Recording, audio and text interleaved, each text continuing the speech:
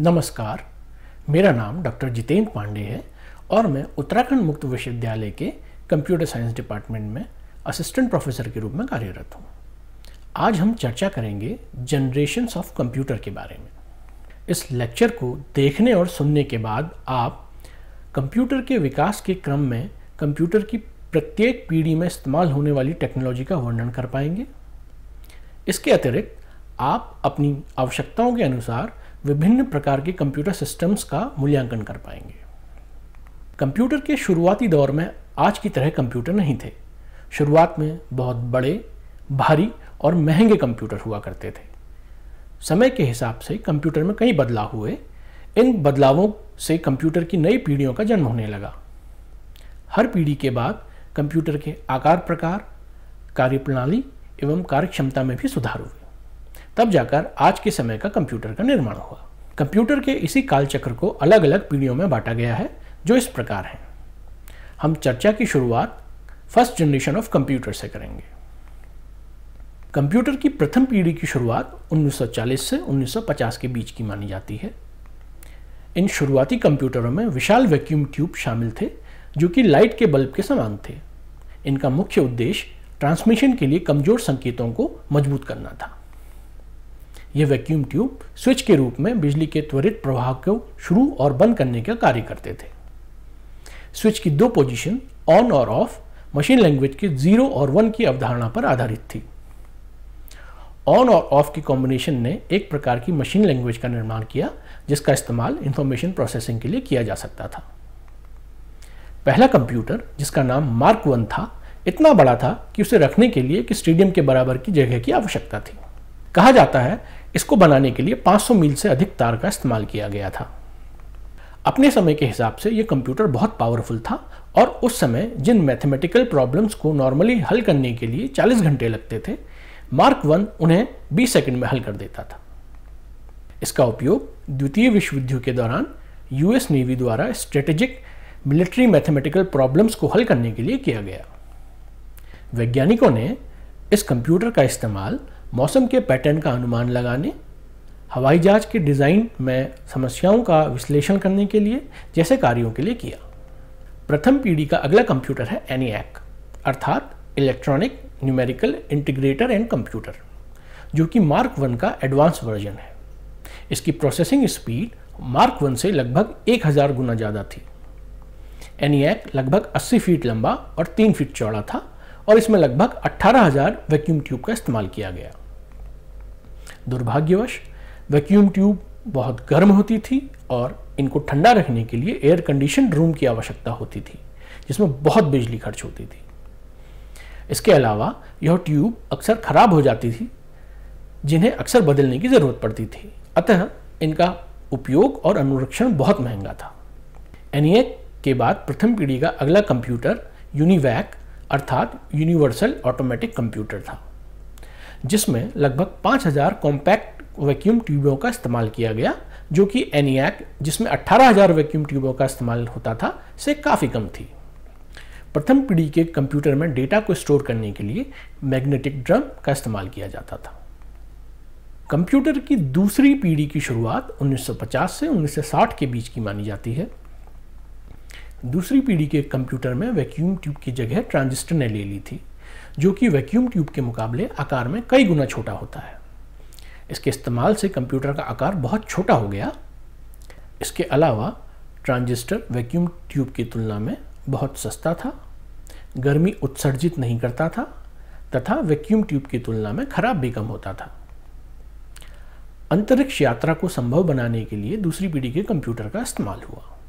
जहाँ प्रथम पीढ़ी के कंप्यूटर में मशीन लैंग्वेज का इस्तेमाल होता था, जिसे प्रोग्राम करना बहुत कठिन होता था।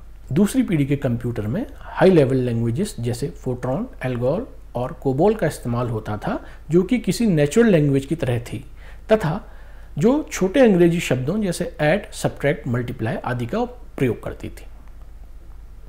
इस पीढ़ी के कंप्यूटर में हार्डवेयर एवं सॉफ्टवेयर को डेवलप किया गया, जिसके कारण प्रोग्राम को स्टोर और रिट्रीव करना संभव हो पाया।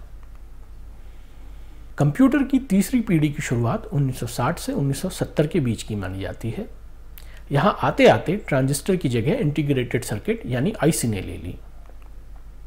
सिलिकॉन की एक चिप में लाखों छोटे ट्रांजिस्टरों को एकीकृत कर आईसी का निर्माण किया गया और इस प्रकार कंप्यूटर का आकार बहुत छोटा हो गया तथा इन कंप्यूटरों की कैलकुलेशन स्पीड माइक्रोसेकंड से नैनोसेकंड तक आ गई।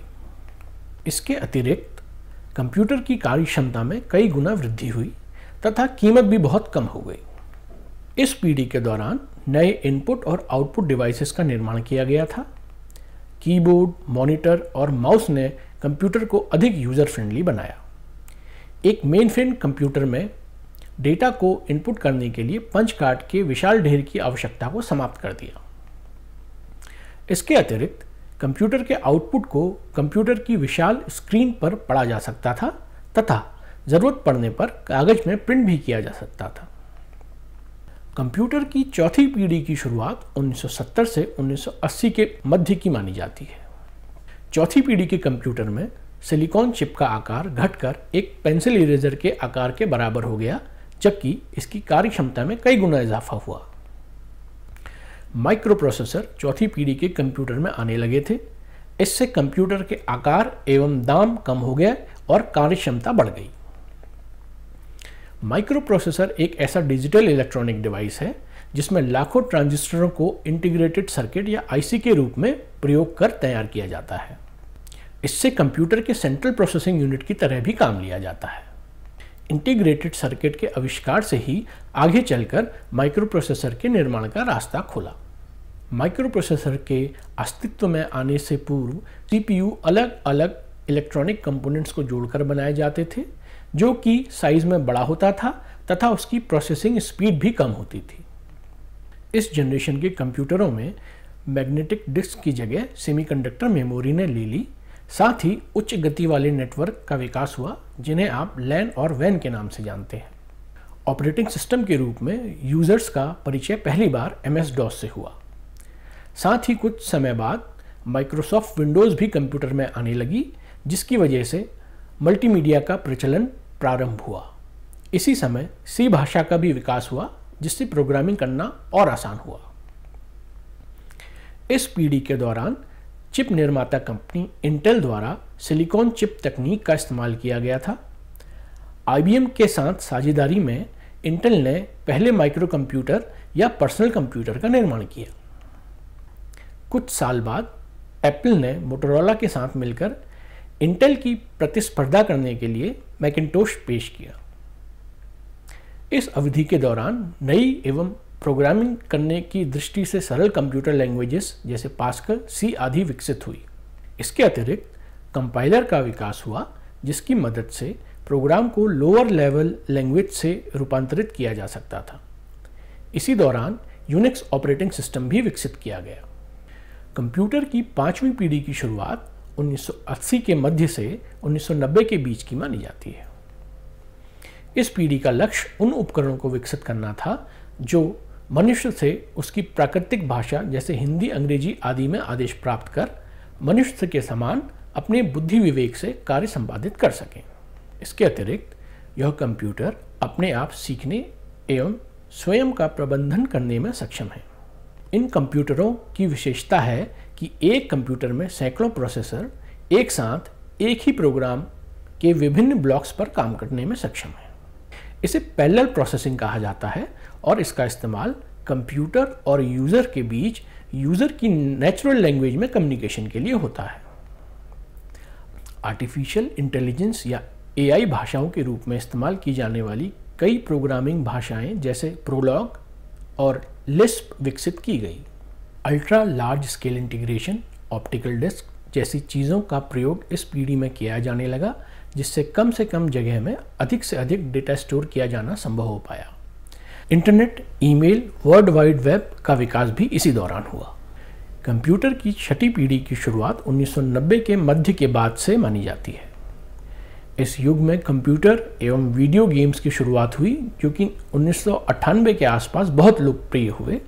Nintendo GameCube Sony PlayStation two और माइक्रोसॉफ्ट के एक्सबॉक्स को सभी उम्र के खेल प्रेमियों द्वारा हाथों हाथ लिया गया।